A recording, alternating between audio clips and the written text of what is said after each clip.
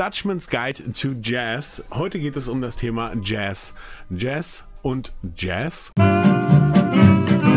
Ich bin sehr gespannt, weil wie gesagt, ich habe von Jazz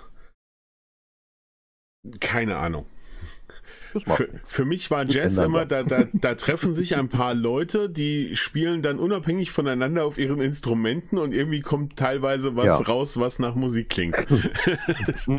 Ihr könnt ja auch mal in den, in den Chat schreiben, wie so eure Erfahrungen und, und, und, und Kenntnisse und Einstellungen oder Meinungen von Jazz ist. Das, was du gerade beschrieben hast, ist typisch für viele. Ich glaube, so begegnen viele dem Jazz, wenn sie das erste Mal was hören. Das äh, Schöne an Jazz ist ja, dass er na, mittlerweile deutlich über 100 Jahre schon, schon existiert. Mhm. Also die Musik entstand ähm, Anfang des 20. Jahrhunderts, also im Wechsel von 1890 zu 1900, 1910 in der Ecke. Und äh, in der Zeit sind über 100 Jahre. Da ist unheimlich viel passiert. Hm. Unglaublich viel. Ich hätte auch nie gedacht, Und dass Jazz schon so alt ist, muss ich ganz ehrlich zugeben, ja.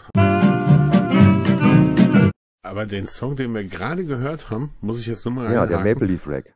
Ja, ich, ich kannte diese Melodie, die da verwendet wurde. Ja. Das war, war auch, entweder war es bei, bei Stummfilmen, wo das mitverwendet wurde, oder, Richtig, oder, ja. ich glaube, ich kenne es tatsächlich so aus so Sachen wie Tom und Jerry oder so, dass ich das da mal gehört genau. habe, so als Untermalung. Genau. Und, äh, ja. Aber ich die, die, der, der Track fing an und diese, diese Hauptmelodie da drinne, die, ich kannte sie, weißt du, das war so, das war gerade. Genau. Und das ist auch von Scott Joplin, ein Rag oder Ragtime.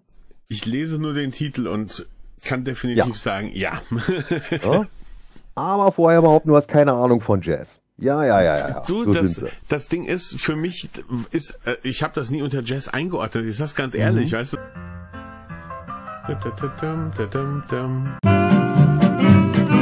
Dann ist das jetzt quasi deine Boogie-Woogie-Entjungferung. Hör erst mal rein. Dieses Rollen mhm. unten im Bass. Das ist der typische Boogie-Rhythmus. Äh, Boogie Siehst du, und für mich als Unwissender, ich würde das jetzt, was ich gerade höre, tatsächlich als Rock'n'Roll. Im Kopf für mich als Rock'n'Roll, genau. Richtig.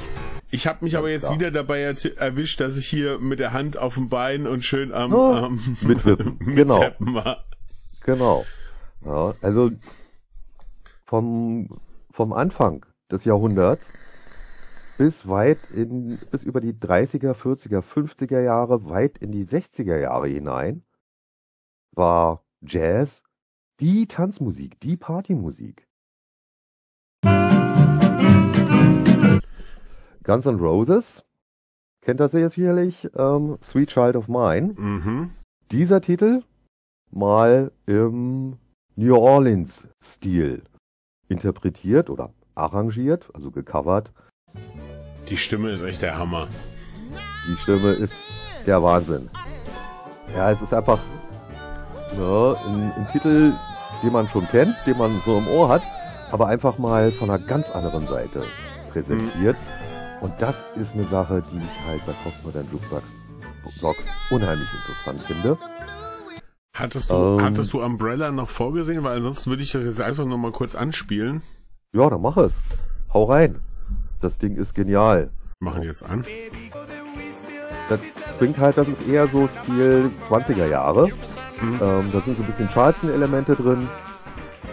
Ich wollte gerade sagen, von der Stimme klingt er auch so ein bisschen wie, wie ein, ja, ich will es jetzt nicht abwerten klingen lassen, aber so ein weißer Louis Armstrong. aber vorher überhaupt, du hast keine Ahnung von Jazz. Ja.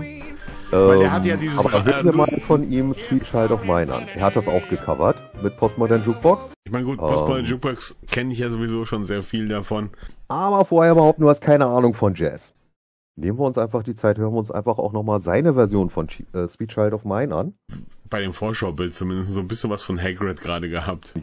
Ach,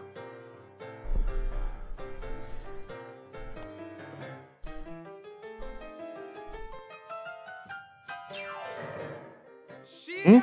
Da hast du halt auch dieses getragene aus dem, aus dem Blues und richtig schön New Orleans. Ja.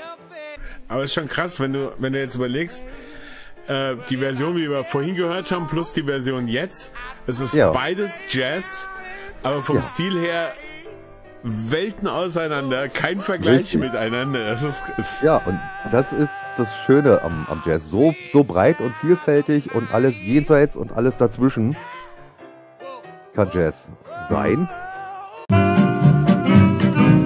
Ella Fitzgerald, wie gesagt, in den 30ern startete ihre Karriere als, als Sängerin mit Liedern wie hier A Tasket, A Tasket, ähm, im Prinzip Kinderliedern die sie aber auf ihre eigene Weise ähm, sang, nämlich sehr verjazzt. Ja, ist schon schön, also gefällt mir. Ja. Na gut, Ella Fitzgerald ist mir natürlich auch schon vorher ein Begriff gewesen. Aber vorher überhaupt nur hast keine Ahnung von Jazz.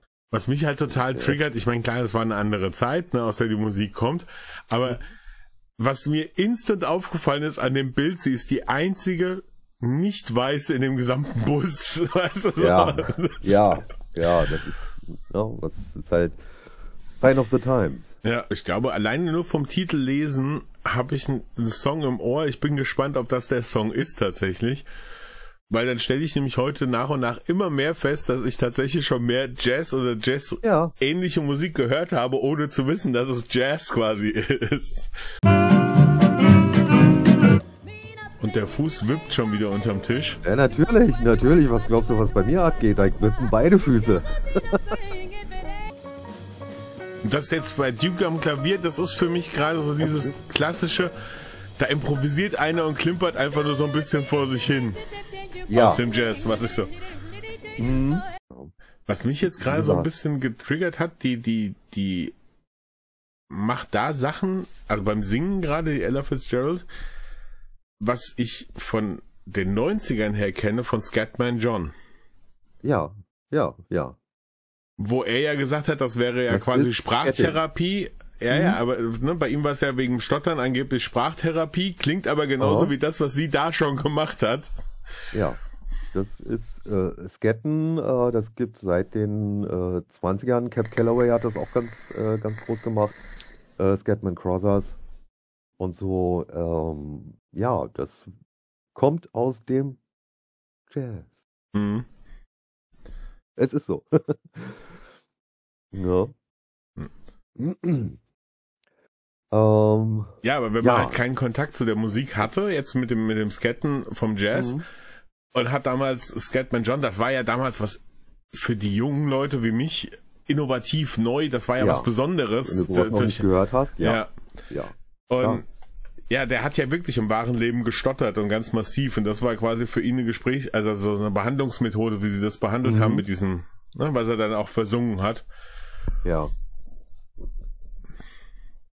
Ja, aber wenn man jetzt weiß, das ist schon viel älter und das gab es schon früher in der Musik, ist das wieder so ein Hm.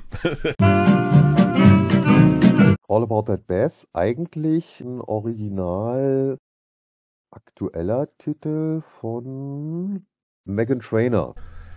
Der Song hat halt einfach mal 73, äh, fast 74 Millionen Ausru Aufrufe. Ja.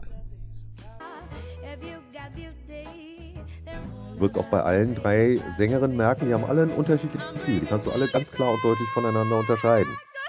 Schon, ich, ich habe gerade massiv Gänsehaut von dem, von dem ja. Part, wo sie anfängt zu singen, wo sie so hochgeht. Du recht. Man sagt ja normalerweise so relativ klischeehaft, um so, um so eine Stimme aus dem Körper zu holen, muss auch ein bisschen Masse auf diesem Körper vorhanden sein. Ja. Und sie holt das halt aus dieser zierlichen Figur raus. Ja.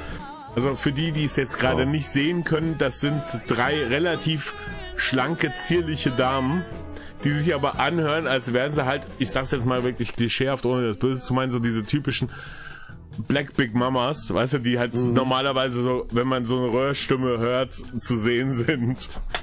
Okay, jetzt bin ich auf die dritte Stimme gespannt.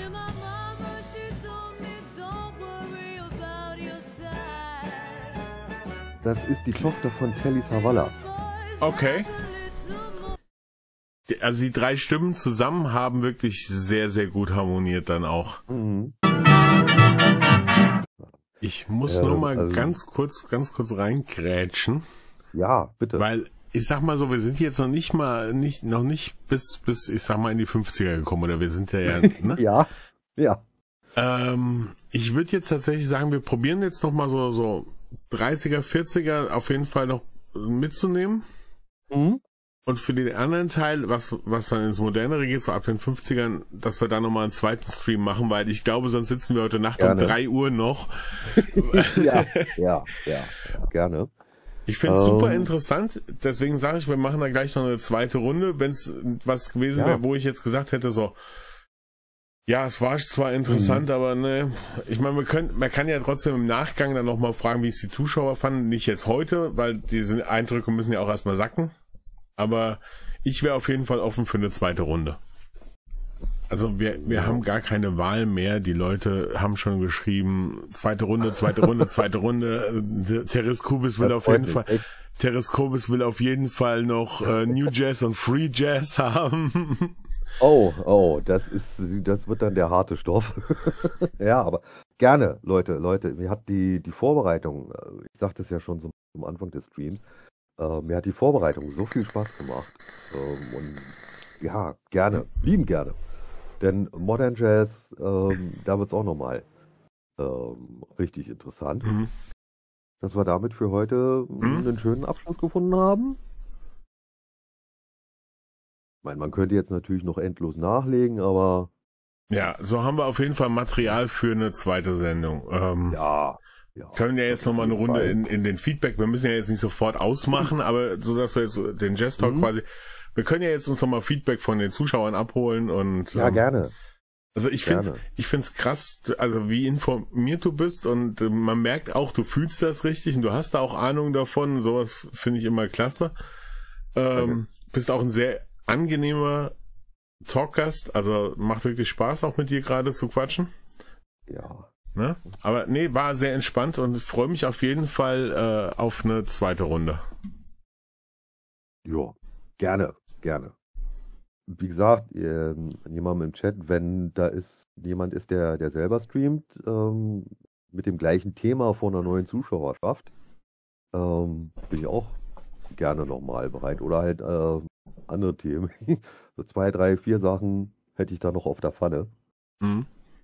Hm die man halt mal ähm, machen könnte. Und wer weiß, vielleicht wird das ja, vielleicht wird ja was draus, so als Talkgast hier von Kanal zu Kanal zu hüpfen auf Twitch. No. Ne? Brauchen die großen Streamer ja keine Angst haben, dass ich ihnen die Zuschauer.